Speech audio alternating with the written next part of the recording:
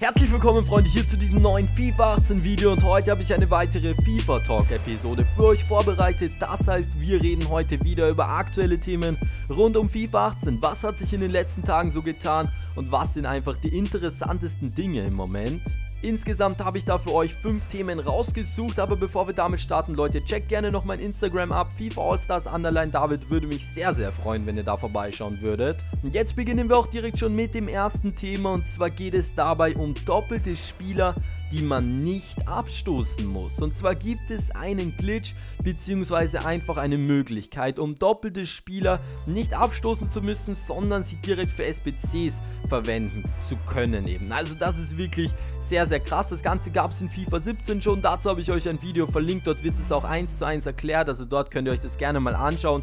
Und dann wird eben erklärt, wie das Ganze gemacht wird. Falls ihr es eben nachmachen wollt, ich selbst hatte nämlich mal Mustafi Inform vor kurzem im Stream gezogen. Und zwar als Duplikat. Ich hatte den beide Male untradable und den zweiten Mustafi 87er habe ich dann einfach abgestoßen, weil ich mir gedacht habe, yo, den habe ich doppelt, beide sind untauschbar, ich kann ja eh nichts mit dem machen. Kurz darauf ist der Chat komplett eskaliert, yo, du kannst den doch für SBCs anwenden, du Vollkoffer, was tust du?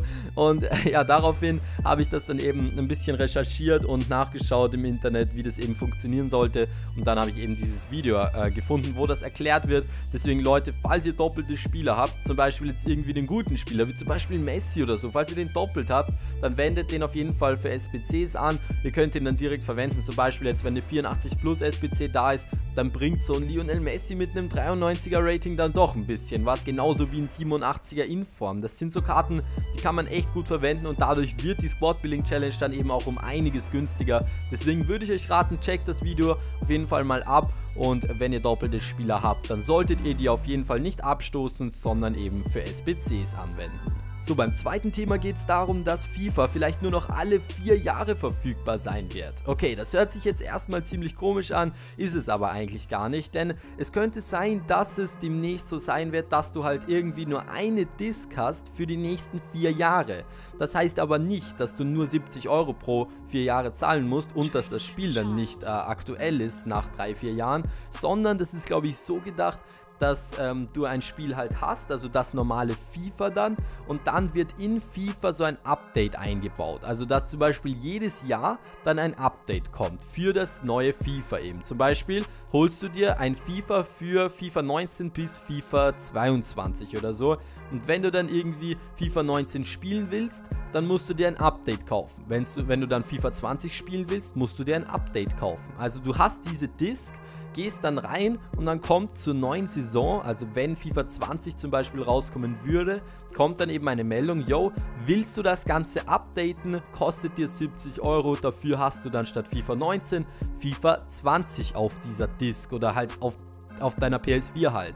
Und so ist das Ganze, denke ich mal, gedacht. Ob das wirklich so umgesetzt wird, ist fraglich. Ich habe euch dazu auf jeden Fall einen Artikel verlinkt, aber da gab es echt viele Meldungen, so, oh, alle vier Jahre nur noch FIFA, what the fuck. Aber das ist eigentlich gar nicht so schlimm. Es ist eigentlich genauso wie jetzt, nur äh, digitaler als eben jetzt. Ja, das war das zweite Thema und jetzt sind wir auch schon beim dritten Thema angelangt und hierbei geht es um FIFA 18 Störungen. Ja, damit ist gemeint, welche Probleme wann und wo auftreten. Dazu habe ich eben auch eine Website hier gefunden, habe ich euch auch in der Beschreibung verlinkt. Und das fand ich einfach nur verdammt interessant, denn da sieht man auf jeden Fall ein paar interessante Infos, aber was dann wirklich cool ist, ist das hier. Zum Beispiel, wo hast du Probleme? Ja, in der App haben 4% Probleme, in Beer Pro gar niemand, weil es wahrscheinlich auch nicht so viele Leute interessiert.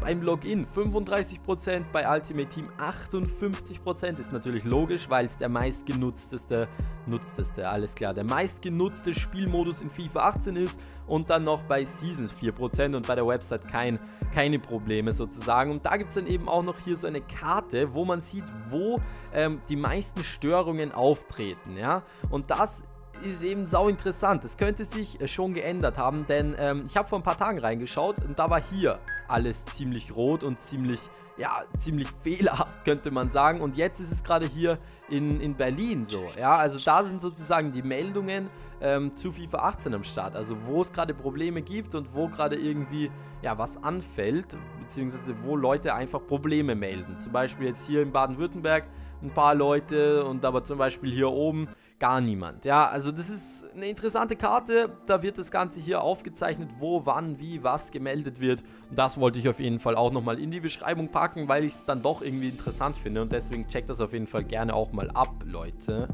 So Leute, beim vierten Thema geht es um einen FIFA 18 Chemistry Style Glitch, der vor kurzem gefunden wurde und der ist einfach nur verdammt interessant, denn ihr wisst ja Leute, dass man bei Chemistry Styles eben bestimmte Werte pushen kann. Zum Beispiel bei Hunter kriegst du irgendwie plus 3 bei Schießen und bei Tempo.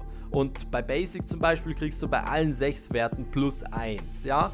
Und es gibt irgendwie einen Trick, ich weiß selbst nicht genau wie es geht, aber es gibt ihn, dass du jeden Wert um plus 3 pushen kannst. Und das ist ja eigentlich nicht möglich. Das ist sozusagen ein mega, mega, mega Basic Chemistry Style. Also wo alles einfach gepusht wird, so hoch es nur geht. Und das ist einfach absolut krank.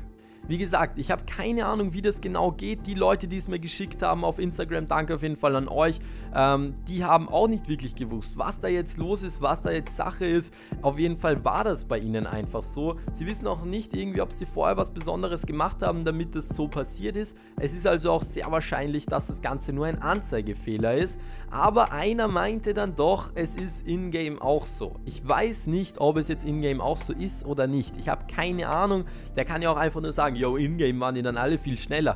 Das ist natürlich jetzt schwer rauszufinden, weil ich halt selber keinen Account habe, wo das so ist. Aber Leute, falls das bei euch auch so ist, dann testet einfach mal, ob die Spieler dann wirklich um einiges besser sind oder nicht. Dann filmt einfach mal zum Beispiel, äh, dass die von der einen Toroutlinie zur anderen Toroutlinie rennen und schaut dann, wer schneller ist, ja. Ob, äh, ein normaler, ob der einen normalen Chemistry Style hat oder eben diesen Special, Special, Super Duper Chemistry Style, wo auf einmal jeder Wert gepusht ist. Testet das auf jeden Fall mal aus und schreibt es mir gerne in die Kommentare, äh, falls ihr da auch irgendwie andere Erfahrungen damit gesammelt habt. Aber auf jeden Fall gibt es diesen Glitch und es ist einfach nur verdammt interessant, aber wie gesagt, ich gehe stark davon aus, dass das Ganze nur ein Anzeigefehler ist. Und damit sind wir jetzt auch schon beim fünften Thema. Hierbei geht es um den Gläubert. Ja, es gibt zwei Gläuberts in FIFA 18, den jungen und den alten Gläubert. Also der eine spielt ganz normal bei Ajax, der Justin Gläubert und der Patrick Gläubert ist eine Icon in FIFA 18 und da gibt es ein richtig cooles Easter Egg und zwar der junge Justin Kluivert,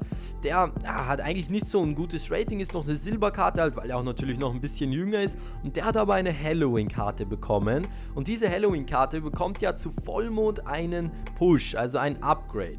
Und das ist richtig krass, denn diese Halloween-Karte bekommt ein Upgrade und somit ist die dann genau gleich gut wie die Karte von seinem Vater. Das heißt, der Papa und der Sohn haben zu jedem Vollmond dasselbe Rating. Also es geht hierbei um die niedrig geratetste Icon-Karte von Patrick Kluivert, also der ältere, und dann eben die Halloween-Karte von Justin Kluivert. Und das ist ein richtig cooles Easter Egg, denn die haben dann wirklich eins zu eins dieselben Werte zu Vollmond. Und das finde ich einfach nur verdammt interessant. Einfach der Vater und der Sohn im selben Spiel mit denselben Werten. Das ist schon echt eine extrem coole Sache, die EA da eingebaut hat.